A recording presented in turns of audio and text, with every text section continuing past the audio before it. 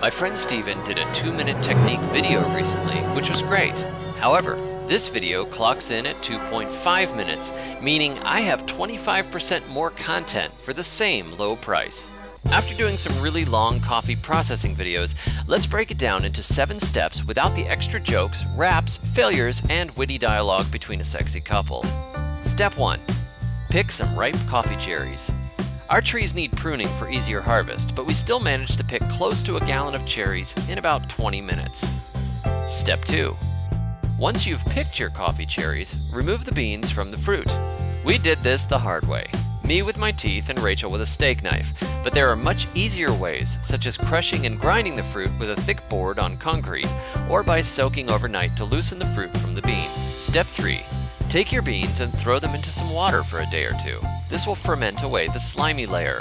When they feel rough between your fingers instead of slick, you've got it. Rinse them off and then proceed to step 4. Step 4. Dry the beans. If you want to store the green beans for any period of time, it's important to dry them quite well so they don't mold. This can take days in the sun.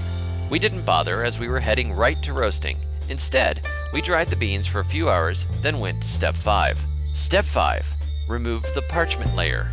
The parchment layer is a rough tan layer that surrounds the beans. Peel it off. Step 6. Roast the beans. We roasted the beans in a stainless steel pot over medium heat, stirring constantly, but there are many other ways to do this. You can bake the beans in the oven or use a popcorn popper. We don't have a popcorn popper and we wanted to closely monitor the progress, so we simply toasted ours in a pot over the burner. Step 7. Grind the coffee. There are hand crank machines, but we use an electric espresso grinder instead, which works like a charm. Now you can brew your coffee however you like and enjoy some homegrown goodness from tree to cup. Thanks for watching. Catch me on the web at thesurvivalgardener.com and be sure to check out my $2 booklet, The Survival Gardener's Guide to Growing Your Own Caffeine. It's in the description. Until next time, may your thumbs always be green.